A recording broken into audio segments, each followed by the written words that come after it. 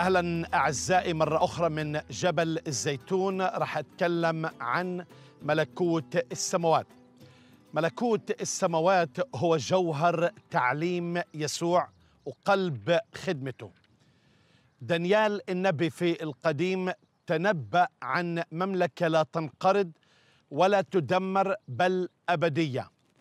وعندما بشر الملاك القديسة المطوبة مريم العذراء اتكلم عن يسوع لملكه ليس نهاية. فإذا أحبائي طبيعة إرسالية المسيح من البداية من أول ما ابتدى في الخدمة الرب يسوع قال توبوا لأنه قد اقترب ملكوت السماوات. وعندما جاء الفريسيون ليسألوا يسوع المسيح سألوه متى يأتي ملكوت الله؟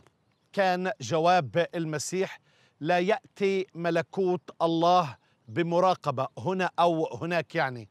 لأن ها ملكوت الله داخلكم. ملكوت الله في وسطكم.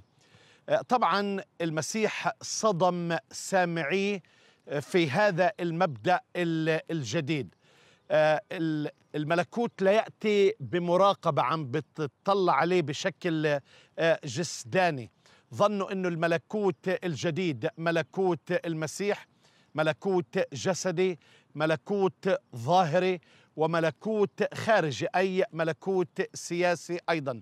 لكنه لكن المسيح اتكلم عن ملكوت روحي عن ملكوت داخلي إنه بصراحة انه هو موجود في وسط الناس هو موضوع هذا الملكوت.